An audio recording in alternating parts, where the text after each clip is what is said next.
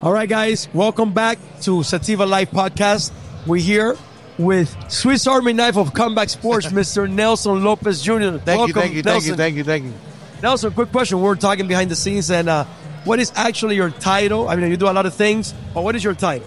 Um, I mean, a little bit of a little bit of everything, like you said, but um, I've, I've evolved into become a, a promoter for BKFC, a partner, you know, um, international distribution of of content, and also just development of the business from the bottom to the top. You know, from amateurs all the way to the knucklemanias.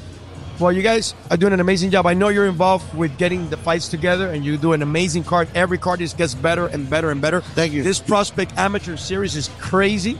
Uh, I was asking um, Mr. Little Search, uh, Agent 007. no, I was asking him some questions, and he was pretty good at that. But I want to ask you other questions. Okay. Like on your involvement, but how do you see what you guys are doing? How is this going to take it to the next level, the Prospect Series?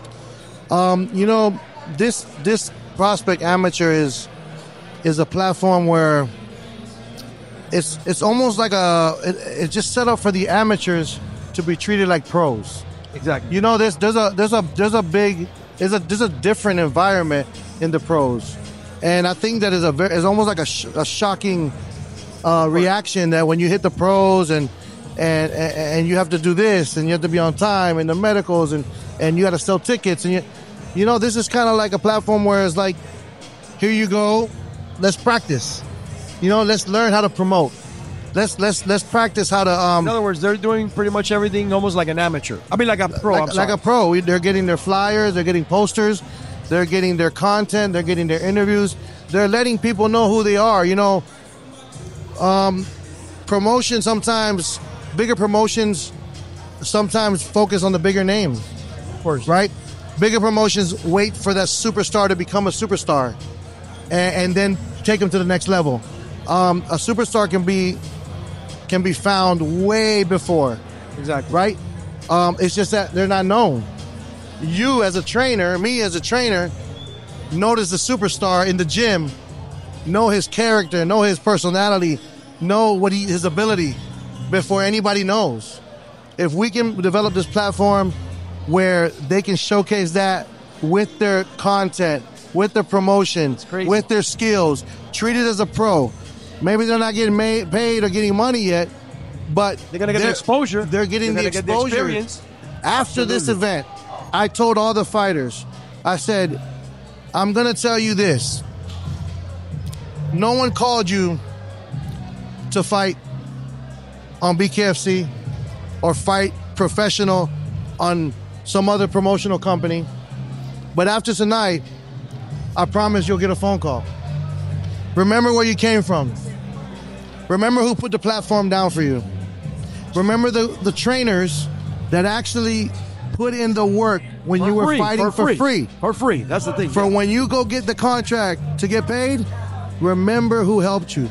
And and, and that's what that's how it is. Um, you become attractive when you got a dollar sign beside you. Uh, I, I've, I've already done this so long that was my next question. How long have you been involved in martial arts in general and in BKFC? I, I grew up in this. I, I grew up in boxing. You know, I, I, I took I did my first amateur fight at eight years old. Oh wow. My father is in the Florida Hall of Fame as an international promoter. We've done events from Kazakhstan to Russia um, with the with the governments. Wow. Um, Colombia, Azerbaijan. You know, we have relationship with China to do events. We've done it internationally just just because that's how we were getting exposed to through that. You know, we didn't we didn't have the competition. We didn't we didn't make competition here in the U.S. unless you had a network. Of course. So we went out. Uh, uh, we didn't mess with that. We went out internationally to show what we can do there, and we brought fighters from there to the U.S. So I applied that to BKFC. I applied that to Dave Feldman. Apparently, Dave Feldman saw my value in, in fighter development and business development, and in just exposure internationally outside of the U.S. Listen, people think that because of social media, it's easier. I totally disagree. It's more challenging. You need to prove yourself even more. Just because social media is out there, anybody can get involved. And what you guys have done, to me, it's just another level. You know, social media is, is a beautiful platform to promote your brand, but not only did it make it maybe a little easier, it made it competition. accessible, accessible to It anyone. made There's- competition that you better. have to prove yourself 100%. So now you have the young the young generation that know how to do social media on their phone, and you have a marketing company that used to do marketing back in the day for Don King that doesn't have no idea how to market an event now. And I'm gonna tell you this: Wow. the reason why boxing has failed, and I hate to say it, Yeah, it's because It it's my love. I'm a boxing fanatic. You know, I, I it's sad that I had to apply everything I learned in boxing into another sport because I couldn't excel or apply it there. Boxing, promotion, and marketing remained archaic. Wow. It didn't evolve. Same system. It- there has to be a change. And you know, BKFC did it. You guys have done an amazing job. I mean, BKC has been around now for maybe what five years, four years. David Feldman's been around. No, he's been longer, but I'm saying David Feldman the company had, itself. He told me He about this idea 10, 12 years ago. Exactly. And we walked in offices where when he walked out, the people in that office laughed at him. So, and, and, and, and there's nights where I know he called me and said,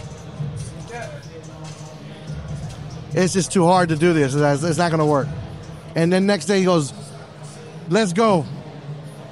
And Florida, Florida blessed us with, with the opportunity. Really, Um you know, the commissions were were were open to see what what My we could question was going to be, who was the first state that opened up for BKFC to do their thing? uh, Arizona Okay. was one of the states that one of the initial states that I wasn't there involved in that.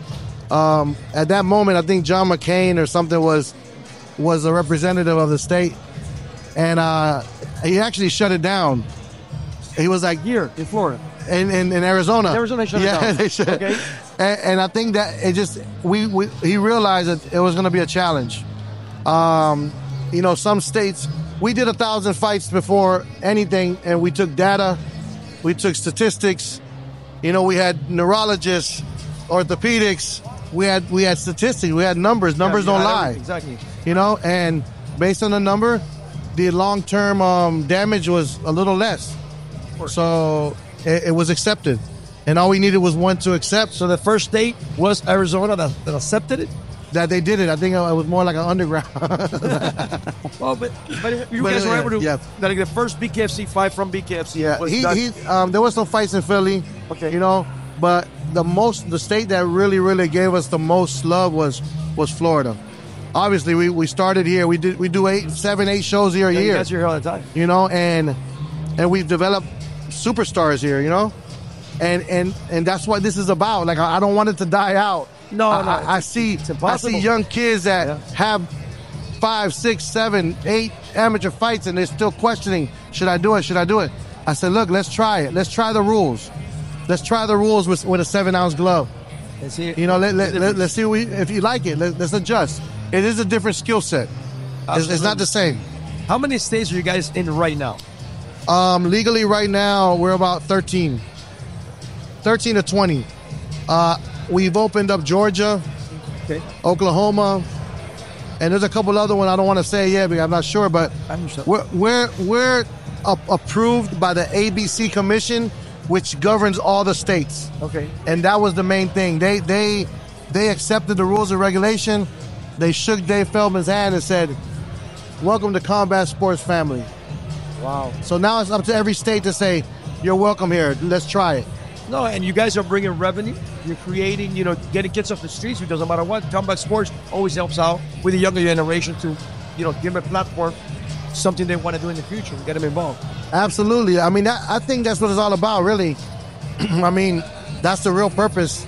Is uh, if you're doing it with a good purpose like this to to help kids get another opportunity or help even just fighters that couldn't box or couldn't do MMA, and this might be an outlet for them, then that's the real purpose. The money comes later. I agree. I agree. money If you do comes what later. you're passionate, Yeah. the money will come no matter what. And, and you know, honestly, a show like this is a lot more fulfilling to me.